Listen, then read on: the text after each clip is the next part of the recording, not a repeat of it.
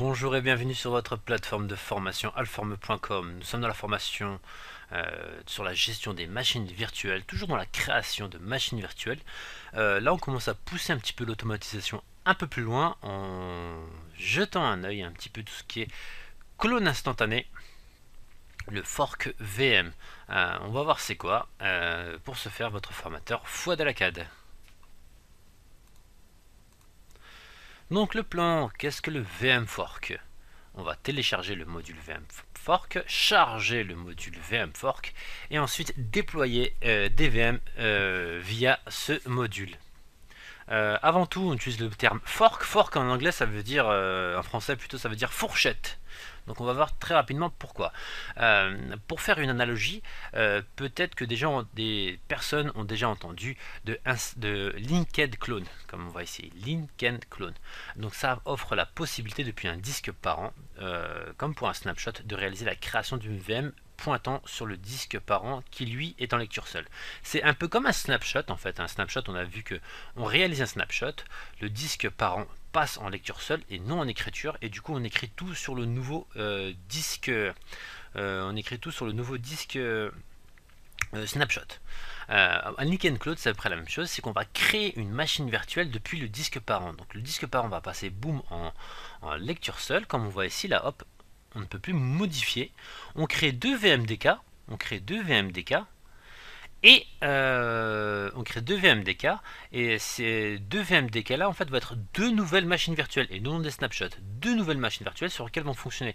Donc on va dire tout ce qui est DLL, système, tout ce qui est on va dire euh, données qui, qui ne bougent pas en fait, qui sont constamment consommées par le système euh, pour son fonctionnement, ben, n'ont pas besoin d'être modifiées, donc elles restent stockées ici, et si on a besoin de modifier ou d'écrire une nouvelle donnée, elles vont être écrites ici. Donc ces machines virtuelles là, euh, grosso modo, euh, sont, prennent très peu de place, c'est une technologie utilisée depuis, depuis pas mal de temps sur tout ce qui est techno de VDI, de virtualisation de desktop euh, qui permettent un déploiement ultra rapide car imaginez-vous que dans un VDI euh, toutes les personnes arrivent à, 9h du matin euh, allument leur poste en même temps. La VDI c'est la virtualisation des postes de travail. Donc les, les je sais pas les, les, 1000 personnes allument leur poste en même temps.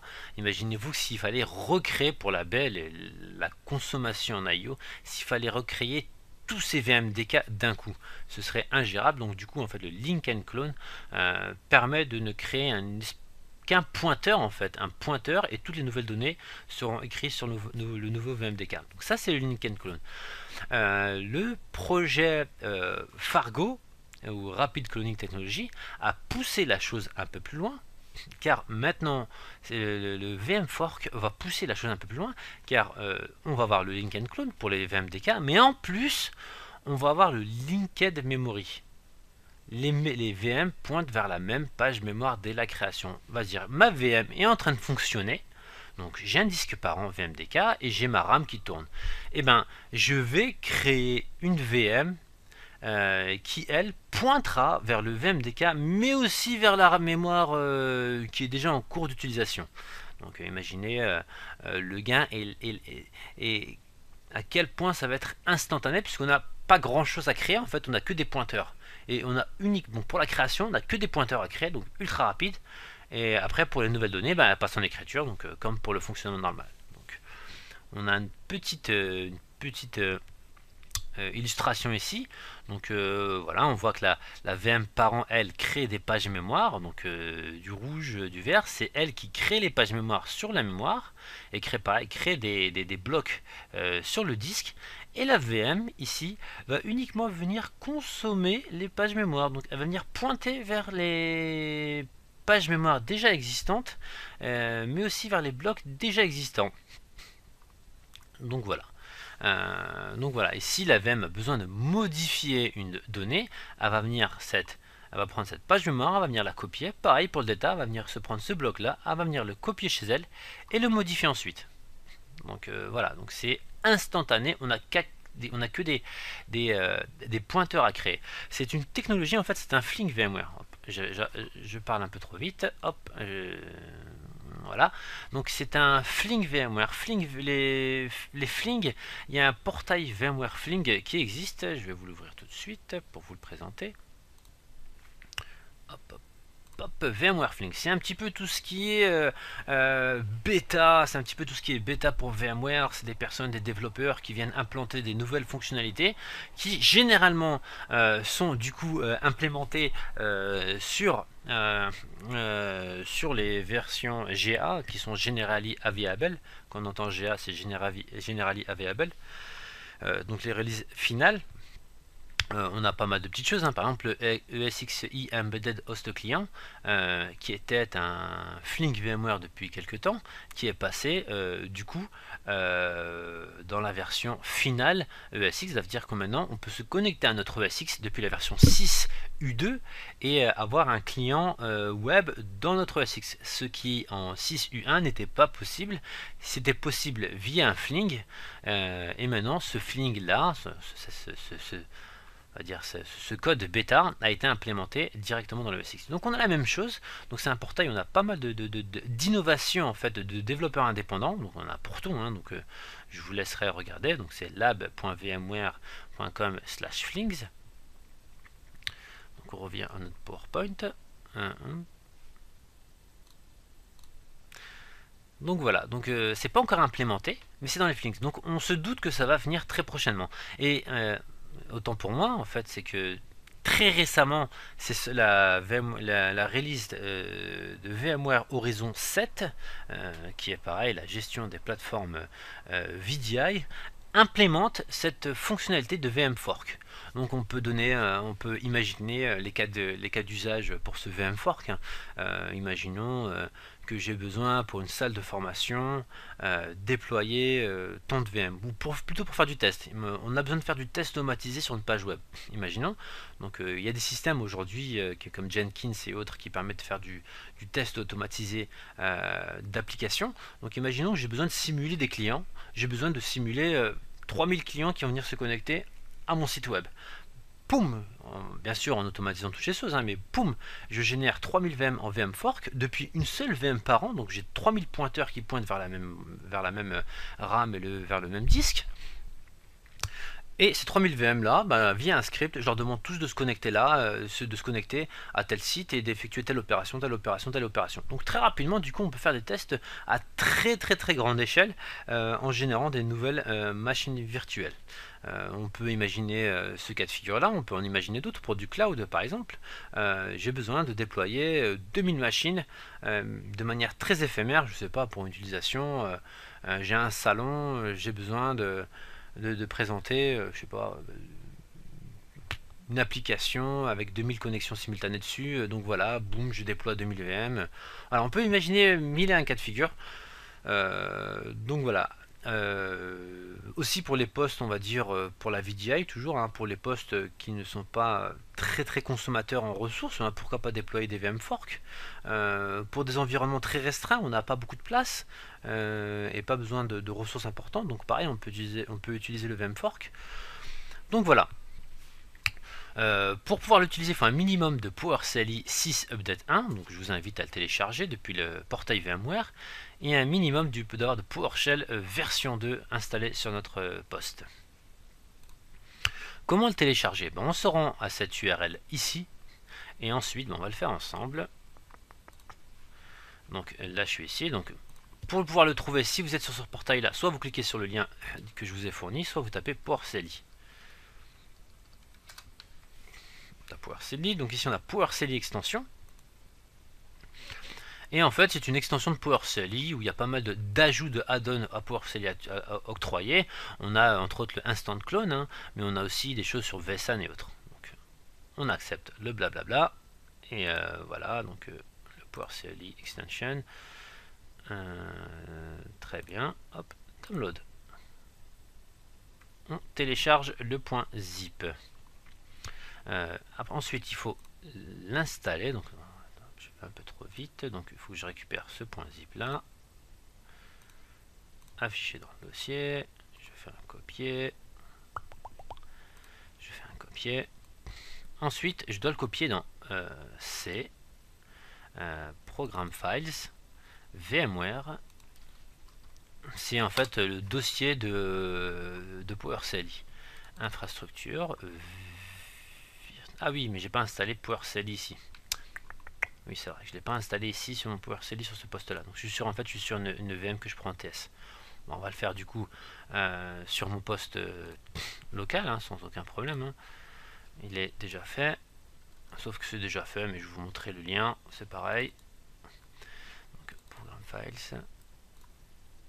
Je vous ramène la fenêtre. Voilà. Hop. ici, je vais dans. Euh, c'est pas ici. Program Files. On avait dit VMware.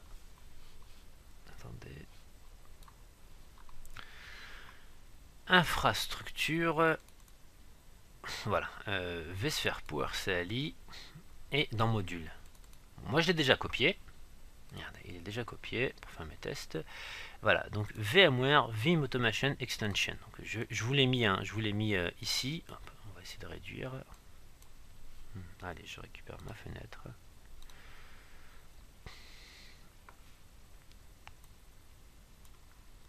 Je vous l'ai mis ici.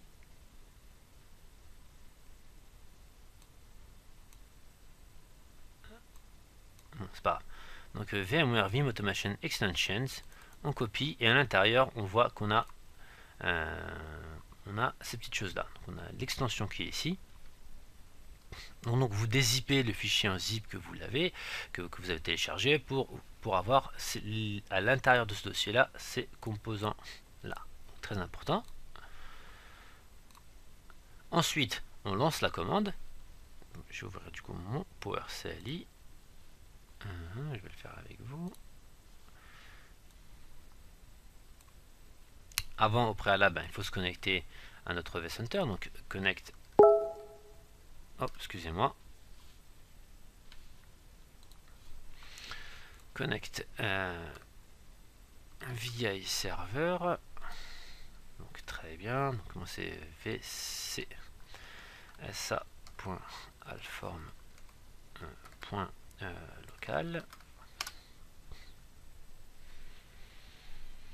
qui me demande, je me connecte en administrateur. vsphere local alform.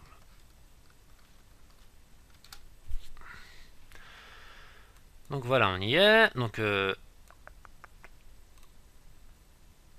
on peut lancer un, get commande là je suis dans C, donc je vais faire un, get euh, comme dans la truc, hein, comme dans la comme dans ce que je vous ai fourni, un get commande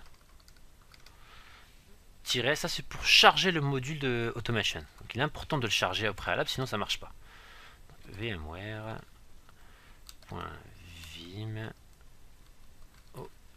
automation .extensions Donc très bien. Donc là j'ai chargé et j'ai chargé tous les, euh, tous les composants. Donc, euh, comme sur la fenêtre. Du coup on va l'activer et on va lancer euh, un clone de VM. Donc on va le faire ensemble. Donc on va revoir du coup mon client web est ici. Donc moi j'ai ma VM W8. Il est important par contre de lui donner un user plus un, mot de passe. Parce qu'il va falloir entrer obligatoirement un mot de passe. Euh, donc mets un VM W8 que je vais cloner en mode fork. Donc on peut, on lance là. Donc je fais un et enable euh, instant clone VM et là je lui indique le nom de la VM donc si c'est W8 euh, nom d'utilisateur, guest user. Là, on le fait en mode très simple, hein, parce que euh, voilà, donc on, peut le. Mais euh, idéalement, vous pouvez même trouver quelques scripts sur internet où on a la possibilité de déployer, en fait, on va de, déployer, donc on va s'y connecter, et ensuite d'ajouter un script de customisation via une boucle, via, via une boucle, euh, pour pouvoir customiser le, le nom d'user, le nom de la machine, l'IP de la machine. Du coup, en fait, euh, on lance ce script là, on va dédupliquer les VM, plus après directement, on va customiser les machines, un peu comme pour le, euh, comme pour, comme ce qu'on a fait avec le l'utilitaire de spécification personnalisée. Donc là, on le fait en mode simple. Hein. Donc ici, mon user, c'est Fouad. Euh, donc guest password.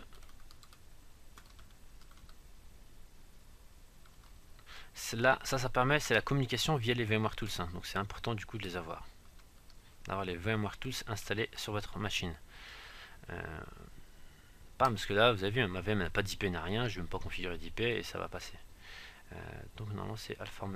Donc là, ah, donc je, je jette un œil à ma ligne de commande, enable instant clone, voilà, déjà il manque le VM, ça commence bien, instant clone VM. VM W8 guest user. Mon guest user c'est bien foued guest password c'est bien ça. Alform foued est-ce que ça passe? Donc là il cherche à se connecter à ma vm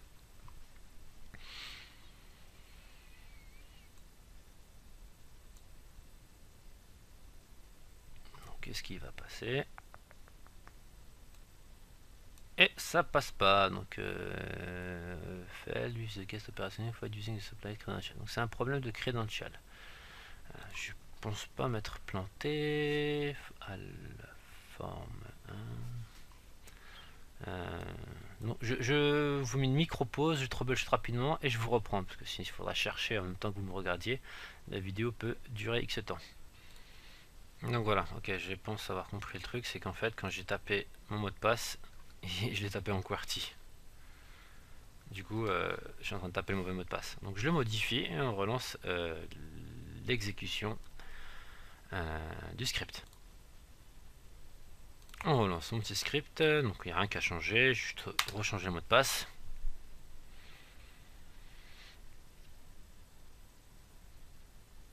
Est-ce que je vais avoir droit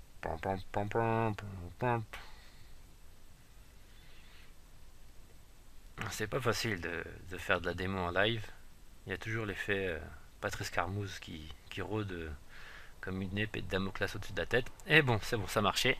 Euh, donc, Patrice Carmouze, pour ceux qui, ne connaissent pas, c'est moi, moi j'ai 33 ans. Je pense que ma génération doit connaître. les plus jeunes, moins. C'était une personne, donc coucou c'est nous, qui, qui des démos et que jamais ça ne marchait. Donc je vous invite à taper, à googler ça si vous voulez voir. Euh,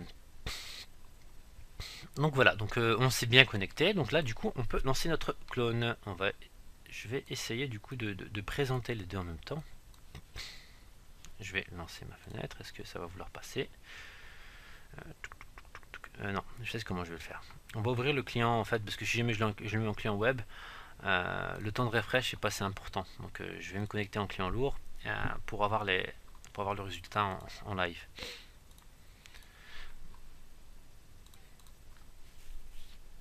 On se connecte, je me connecte à ça. Voilà, c'est ici. Ok. On va ouvrir la fenêtre. Je vais vous mettre ma fenêtre de PowerCilly en tâche de fond. Donc là, ça c'est mon Là, on n'est pas trop mal. On peut lancer la, la, la requête de clonage. Donc new, euh, je vous demande d'observer en bas. Du coup, on va essayer d'observer en bas, euh, voir ce qui se passe. Donc ici, on voit que euh, VM fork enabled fork euh, pour la VMW8. Donc là, on voit qu'on a activé le VM fork dessus. New c'est pas un truc que vous pouvez lancer en, pro, en, en, hein. donc, donc, mais c'est un truc qui peut vous servir et qu'on va se servir justement euh, dans, ce même, dans cette même formation-là, et vous allez voir que c'est pas mal pratique dans notre cas. Et que du coup, ben, vous pouvez utiliser euh, dans votre contexte. Euh, W8 name. Donc là, en fait, je, je demande une nouvelle VM, je donne le nom du parent et je vais donner, du coup, je donne le nom de la VM enfant. Donc moi, je vais l'appeler W8-2. Euh, euh, Donc là, on appuie Entrée, et là, on regardait ce qu'on va voir la, création de la VM. Poum Elle est déjà créée. Regardez, vous avez vu? Elle est déjà créée, ma VM euh, W8. Donc c'est très rapide. Hein. Normalement, derrière, on doit, on doit ajouter un script qui vient démarrer la VM automatiquement et voir la personnaliser. Euh, voir la personnaliser, mais euh, nous on le fait pas. Donc voilà, pour, pour, simplifier notre notre démo et pour faire pour vous comprendre, là, je peux d'ajouter des boulignes à rallonge. Donc si je regarde un petit peu les, options de la VM de, de W8-2, je vais dans disque dur et je vois euh, qu'elle pointe en fait vers euh, W8 euh, underscore 1, ce qui était en fait c'est ma VM W8, hein, sauf qu'un. Donc on va regarder, on va vérifier la petite chose. Si je vais dans W8, on regarde quel est son dossier. Ah oui, vu que c'est une VM par an, maintenant elle est passée. Non, vu que c'est une VM par an, elle est passée. On va, browser directement le disque. Donc W8, c'est pas celle-ci. Hein. Celle-ci, elle a supprimé elle n'est pas fonctionnelle. C'est celle-ci, ma, ma VMW8, se trouve dans ce dossier-là. Donc voilà, avec le VMX W8. Euh, donc voilà. Et si on regarde du coup dans W8-2, ben, on n'a pas grand chose, on n'a même pas de VMDK. Regardez, on n'a pas de VMDK. Vous avez vu? On a, un fichier swap, mais on n'a pas de VMDK. Euh, donc cette VM là pointe directement sur le VMDK de W8. Donc de ce dossier-là, comme on a pu voir. Et euh, niveau RAM, c'est la même chose. Donc si je refais euh, modifier le paramètre, on remarque que dans le disque dur, on pointe bien vers la VM-W8 VMDK. Donc si jamais vous faites clic droit supprimer du disque dur, quand vous allez vouloir l'éteindre, vous allez supprimer le disque dur de votre VM-W8. Je vous le dis car je me suis fait avoir. Hein. donc j'ai voulu supprimer ma VM euh, après mes tests. Euh, j'ai voulu supprimer ma VM W8 et ben en fait j'avais supprimé euh, le VMDK de la VM parent. Donc faites attention. Donc il faut, il faut juste supprimer de l'inventaire. et après supprimer, faire un petit nettoyage côté VMDK. Côté plutôt dossier. Donc voilà, donc on peut du coup multiplier les instances très rapidement de notre VM. hop, non, c'est pas ça. j'ai le même nom. Forcément, il va pas aimer. Donc, je peux l'appeler tiret 3. Très rapidement, j'ai une nouvelle VM qui existe. Poum, la W3 existe. Et je peux euh, d'ores et déjà démarrer. J'aurais pu faire une boucle qui va m'en débarrer 1000 comme ça. Et euh, ça marche très, très, très, très bien. Si je regarde au niveau de la consommation euh, de mon ESX, là j'ai déjà démarré 3 VM à 2 Go. Donc et au préalable, j'avais déjà vérifié la chose. Euh, j'étais pareil à 7, euh, à 7 gigaoctets de consommé sur mes 8 gigas de mon ESX. Donc vous pouvez voir que c'est très très très efficace quand on a un tout petit delta, alors qu'on fait tourner vraiment des VM déjà fonctionnels. Si je fais ouvrir la console là, ça devrait pas trop tarder. Allez, allez. Allez, allez.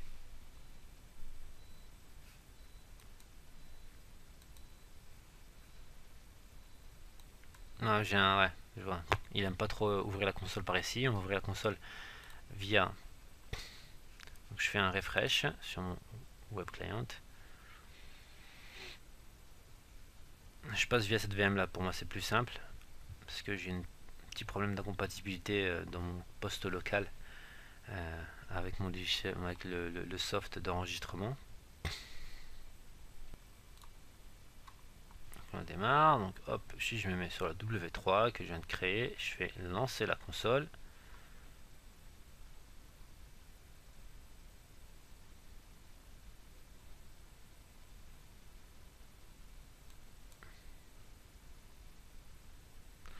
Allez. Allez, allez. Une petite pause. Bon, j'ai mon remote console qui met un peu trop de temps, mais j'ai trouvé ça, on peut l'ouvrir en fait avec la page web client. Et regardez ce qui est marrant en fait, c'est que je me retrouve exactement au même endroit où j'avais laissé ma VM W8. C'est pour vraiment pour vous montrer qu'elle pointe euh, vers la RAM de la W8. Regardez. Et c'est vraiment excellent en fait. Bah là, j'ai plus, en fait, je, l'ai laissé un instant T, donc je ne peux plus agir dessus parce qu'elle est passée en lecture seule. Donc regardez, j'ai la petite main qui se met dessus. Euh, elle est passée en lecture seule. Mais du coup, quand j'ouvre la console, donc euh, euh, de, ma, de W8.3, et ben, je me retrouve au même endroit. On va confirmer la chose parce qu'on va ouvrir du coup la console de W8.2 et on va se retrouver exactement au même endroit parce que j'ai laissé au dernier instant. Par contre, là, je peux travailler sans aucun problème, contrairement à l'autre. Donc voilà, donc, donc on a un pointeur mémoire, donc grosse économie de, RAM. Donc grosse grosse économie de RAM. très très puissant. regardez. Très très très puissant.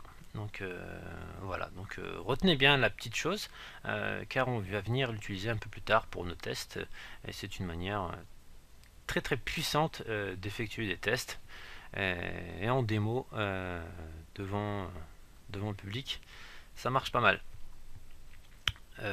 où en est-on donc voilà donc je vous ai présenté le déploiement bon ici les guillemets je sais pas une fois ça passe comme ça une fois ça passe comme ça vous avez compris c'est double guillemets c'est double guillemets pareil pour ici pareil pour ici donc voilà ce qu'on a couvert. On a vu qu'est-ce que le VM Fork, euh, le Fling, la bêta. Aujourd'hui pour euh, tout ce qui est VDI s'est implémenté sous Horizon, Horizon 7, euh, pas encore pour la production, mais c'est euh, tout à fait utilisable euh, pour du test, du démo, et très très puissant. Donc on a vu où télécharger le, volume, le, module dans VMware Fling, comment le charger, où est-ce qu'on a le copier, et ensuite on a fait une petite démo de déploiement de VM Fork. Donc voilà.